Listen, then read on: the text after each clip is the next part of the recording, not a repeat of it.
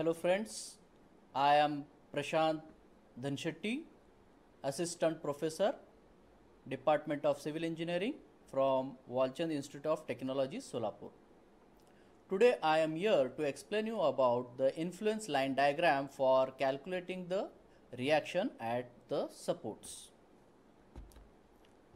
The learning outcome of today's lecture will be the student will be able to study the effect of moving load on structural members, apply Muller-Breslau's principle for qualitative influence line and able to construct influence line diagram. Definition of ILD. So ILD means influence line diagram. A curve or a graph that represents the function like reaction at the support, shear force at a section, bending moment at a section of a structure for various position of unit load on the span of a structure is called as influence line diagram. So ILD is used for in the design of structures that resist very large live loads or moving or rolling loads. So due to this ILD, it will be able to detect the location of the live load which will cause the greatest influence on the structure. Moving or live load, loads applied to a structure with points of application including their magnitude can vary as a function of position on the structure. So including the magnitude means the rolling load or a moving load will having different magnitudes and with different positions. Now can you give me an example of moving or a live load? Here pause the video and try to write an answer on a paper.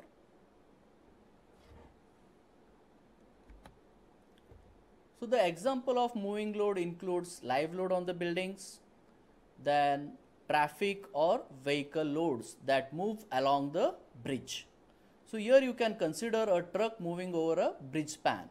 So this is a truck which is moving over a bridge span and the load is applied due to these wheel loads. In the analysis, the moving loads can be modeled as distributed loads, series of concentrated loads or a combination of distributed load and concentrated loads.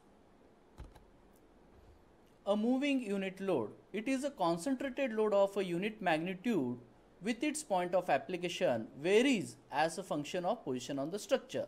Means when a unit load passes from one end to another end, so the value of function varies means reactions are varying, then shear force at sections are varying, then bending moment is varying. So due to this moving unit load or the response due to the moving unit load, the quantity of interest that indicate the effect of moving load on the structure is to be studied. So they are the internal forces, support reactions, displacement and rotation, deformation, etc. The response functions are termed as influence function and the graphical representation is known as influence line diagram. Muller-Breslau's principle. So these principles state that if a unit deformation is created in the structure in the direction of function like reaction, bending moment, shear force, the deflected shape of the structure gives the influence line diagram for that particular function. The methods of constructing influence line diagrams are tabulate values using influence line equation and using Muller-Breslau's principle. Now tabulate values according to this so here a unit load is applied on this beam A to B. So for varying position a static using static the reaction or the function which have to be determined is calculated and a table is prepared for various load position and the corresponding value of function that is reaction and after that we have to plot that points and connecting that points will give you ILD. So here I have taken a unit load which is passing from A to B. So I have taken a load interval of 0.25. So when a unit load is exactly at point A, so using static, I have found the reaction at A is 1, reaction at B is 0. When the unit load is placed at point 0.25L, so the reaction at A is 0.75, reaction at B is 0.25. When this unit load is at 0.5 L, the reaction A is 0.5, reaction B is also 0.5. When the unit load is placed at 0.75 L, the reaction A is 0.25, reaction B is 0.75. When the unit load is exactly at point B, so the reaction at A is 0 and reaction at B is 1. Now using these values, we have to plot points corresponding to this span and joining these points you will get the ILD. So this is the ILD for reaction RA and this is the ILD for reaction RB. Now using influence line equation. So here a equation, e equilibrium equation is developed and again the points are for a specified interval you have to take the values of function and plot that function. So here for reaction RA, so here reaction RA, what I have to consider is x distance from B. Now for reaction RA, we have to take moment about B. So taking moment about B, or I have considered this unit load at a distance of x from B. So RA into L is equals to 1 into x. Therefore, RA is equals to x by L. So now again I have taken an interval of 0.25 L and from this I have calculated RA and I have just plotted that points and connected it that will give you ILD for RA reaction. Similarly now for ILD for RB I have to consider a distance x from point A as I have to take the moment about A.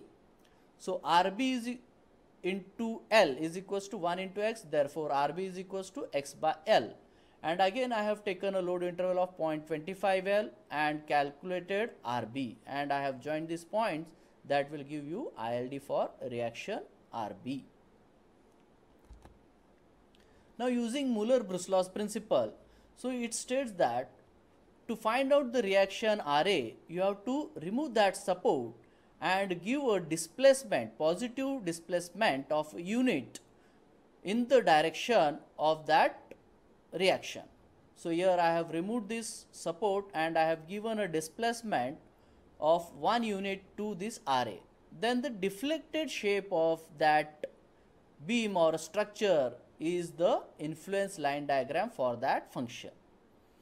Therefore, again to find out the ILD for RB, I have to remove this reaction and give a unit displacement to B and the deflected shape will give you the reaction RB that is ILD for RB.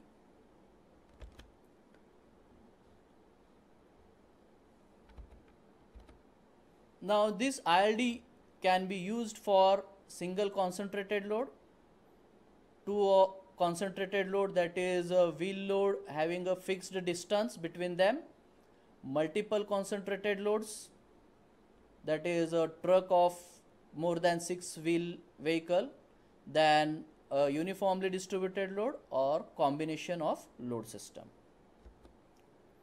Now we will try to determine the reaction for a given system of load using ILD. So first of all you have to find out the ILD for reaction B. So we know the procedure as explained earlier. So here I am giving a unit displacement to this B according to Muller-Breslau's principle and I have connected this that will give you the ILD.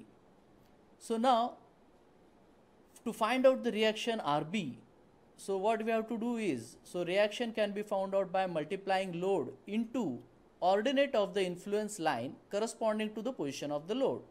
So now I have to find this ordinate corresponding to the position of load. So for 10 kilonewton, I have to find this ordinate at, of the ILD. For 5 uh, kilonewton load, I have to find this corresponding position uh, ILD. And for 20 kilonewton, I have to find this ordinate. So the load into this corresponding ordinate will give you the reaction. So RB is equals to 10 into 0.2 then plus 5 into 0.4 plus 20 into 0.7 this will give you RB reaction 18 kilonewton. For RA reaction we have to uh, draw the ILD for RA and similar way we have to find out this ordinate using similarity triangle then again this load into this ordinate value we will get the reaction RA. Now to determine the reaction for uniformly distributed load system, so reaction can be found out by multiplying the intensity of load with the area of influence line diagram between the UDL.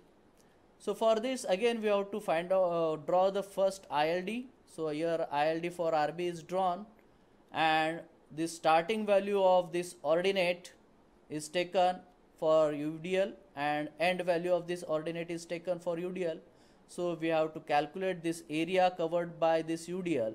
As it is a trapezoidal, you can easily find out the area, one half sum of parallel side into height. So this is the area and multiplying by the intensity of load that is 10 kilonewton. So you will get the reaction RB. Similar way you can find out the reaction RA. So again area into intensity will give you RA reaction. So these are my references which I have referred. Thank you. Thank you very much for watching my video.